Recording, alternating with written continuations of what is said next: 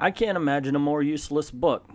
Hey kids, it's Englentine, and this is Generations, the Jean Grey version, and it's there's nothing to it. I wish, I I got to tell you, I am biased against these books because when I bought this, I was like, all right, it's going to be horrible. I'm to get to tear it apart. It's going to be.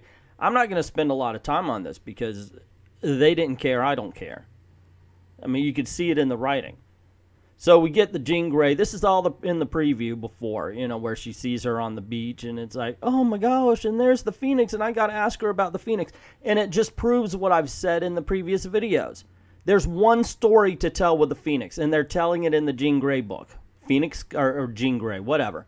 Phoenix comes, she gets powerful, she dies. And in this one, the two characters meet, and it's all about oh should i tell her about the phoenix? Oh my gosh and she's she's there she thinks the x-men's dead should i be and it's all on young jean grey's part to the point where it just seems like uh, older jean grey is dismissing this entire thing. She is so nonchalant about meeting her younger self. It's almost like yeah well follow me you're a nuisance. What are you going to do? We what we're going to hang out? I mean literally there's hardly any real personal interaction here. At least in the Amadeus Cho Hulk version, there was some sort of lesson to be learned between the two heroes, but there's none of that. At best, it's, well, Jean Grey, the, the older Jean Grey doesn't seem to give a sh- so why should I give a sh-? You know, that kind of thing. But otherwise, I mean, there's literally nothing to this story. There's, there's no reason for it to exist. This actually angers me more than an, uh, a bad book. At least a bad book tries. I mean, Nick Spencer wanted to tell a political story and he made a Suckville. But right up to the moment where he barfed up the solution, he tried to get his politics out there. This is nothing.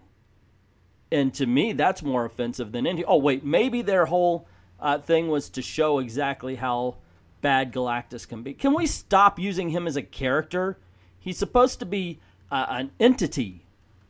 He's supposed to be a cosmic force, and I don't even think they understand what that should mean anymore.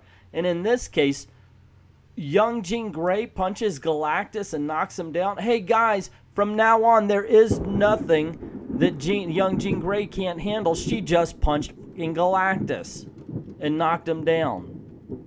I mean, seriously, they have managed to ruin the character in one free it fell swoop. Just that's it. There is now no, it's like there's no problem in the Marvel universe. You just go to barf. Oh, we need this. Here you go. Time stone. And it's the same way with this character. Once you punch Galactus and knock him down, who on earth is going to give you a problem? None. And I think that's just been a problem. I mean, this this book is a big flat line. I wish it was better, or I wish it was worse. I wish it was something other than a book that you read and absolutely get nothing out of. But that's just my opinion. What's yours? Did you read this piece of crap? I wish it was a piece of crap. I wish it was anything. Did you read it? What did you think? Did you like it? Do you hate it? Or like me, do you just think, wow, they just did not try? Let me know in the comments below. Also, if you like this video, you want to see more, click like, share, subscribe if you haven't done that already, and don't forget to hit that notification bell so you don't miss anything else. Also, please go ahead on over to the Patreon page or VidMe. Drop a dollar in the till. Help us keep this train rolling and help us keep the lights on.